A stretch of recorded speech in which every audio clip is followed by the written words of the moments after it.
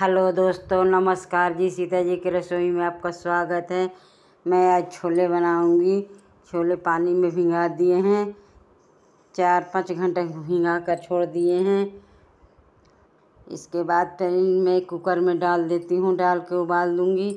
उबाल करके तब बनाऊँगी इसको। देखिए, हम उबालने के लिए रख दिए हैं।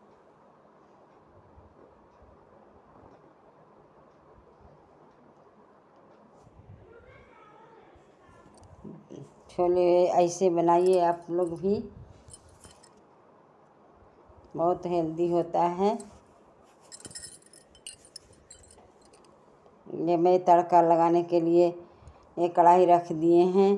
कढ़ी पत्ता डाले हैं हम पहले। जीरा डाल करके कढ़ी पत्ता डालें तब प्याज से तड़का लगा दिए हमने।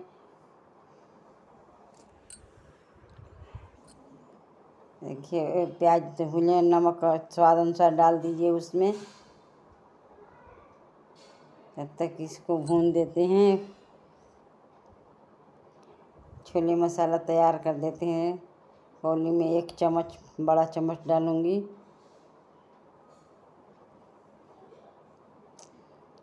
हल्दी पाउडर डालूँगी। एक चम्मच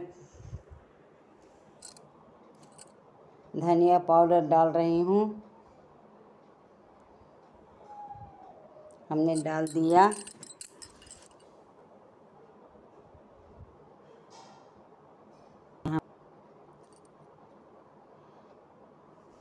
अब इसमें थोड़ा सा पानी डाल के ग्रेवी बना लेते हैं। हमने ग्रेवी बना लिए मसाला डाल देते हैं, छोले मसाला डाल रहे हैं हम।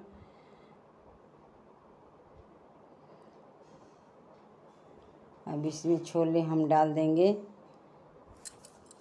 देखिए, छोले बन करके तैयार हो गया।